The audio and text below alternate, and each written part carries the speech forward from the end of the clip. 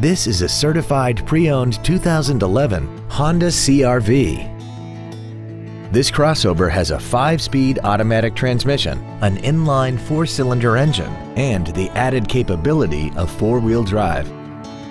Features include a low tire pressure indicator, a multi-link rear suspension, traction control and stability control systems, a CD player, a passenger side airbag, latch-ready child seat anchors, rear seat child-proof door locks, air conditioning, a pass-through rear seat, and this vehicle has less than 27,000 miles.